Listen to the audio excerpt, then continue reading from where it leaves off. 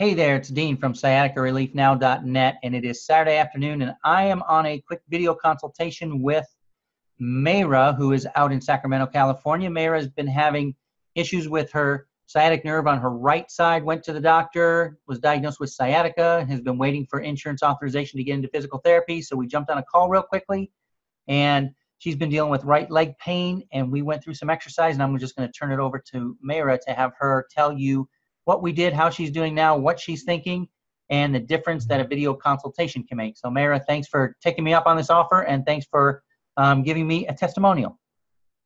Thank you for you for the uh, okay, okay. Um, I was with Dean and I was doing some of the exercise that he was telling me, doing the turning on my left side and then doing um, on my leg. Actually, with those exercises because before he had called me, I was in such, such, such pain in my right side, especially on my knee and then on my on my uh, back and on my butt.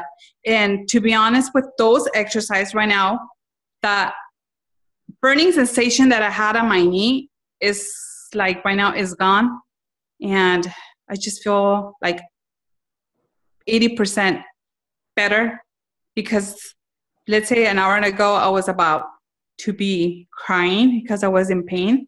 So right now I just feel that pain on my knee. I mean, I don't feel it right now. I don't, yeah. So 80% better with just a couple exercises.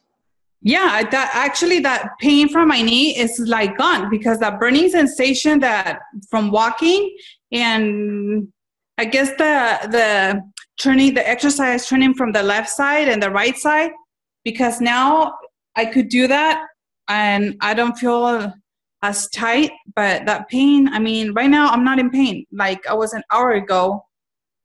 I do feel a lot better with that with those exercise. Awesome. Well thank you yeah. very much for being willing to come on camera and say that after we've done a quick video call